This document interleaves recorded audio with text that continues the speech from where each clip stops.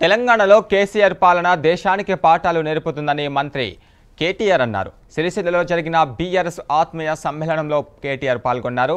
రాష్ట్రంలో కేసీఆర్ పాలన గురించి చెబుతూనే ఆయన కేంద్రంపై విమర్శలు గుప్పించారు.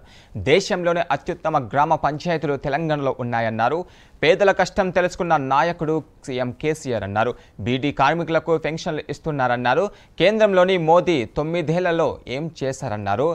జనధన్ ఖాతాల్లో పదిహేను లక్షలు వేస్తామన్నారు. ఎంతమంది ఖాతాల్లోకి వచ్చాయన్నారు.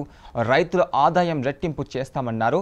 కష్టాలు మాత్రమే రెట్టింపయ్యాయని మంత్రి ఎద్దవ చేశారు. మా ఎమ్మెల్యేలు ఎంపీలు ఏం చేశారో నేను చెప్పగలను. అదే కేంద్రంలోని బీజేపీ ఎంపీలు ఏం చెప్పగలరని ప్రశ్నించారు. మోడీ వచ్చిండు మొన్న. ఏం చెప్పిండు మోడీ? రెండు వేల పద్నాలుగులో నరేంద్ర మోడీ ఇక్కడ కేసీఆర్ ముఖ్యమంత్రి అయినప్పుడే ఆయన అక్కడ ప్రధానమంత్రి అయింది ఏం డైలాగులు కొట్టిండు అన్నాడు భాయ్యో బెహనో మిత్రో ఆప్ సభీ జన్ ధన్ ఖాతా ఖోలో.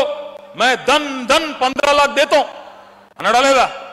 పడ్డాయా పంద్రా లాక్ ఏమనుకన్నా పడ్డాయా పడకపోతే ఒకసారి సేవ్ ఊపిరి టిటిటిటిట మరి ఏం ఏం డైలాగులు కొట్టి పంద్రా లాక్ దేతో అన్నాడు మొత్తం విదేశాల్లో ఉన్న నల్లధనం అంతా పట్టుకొస్తా మొత్తం పేదోళ్ళకు వంచుతా.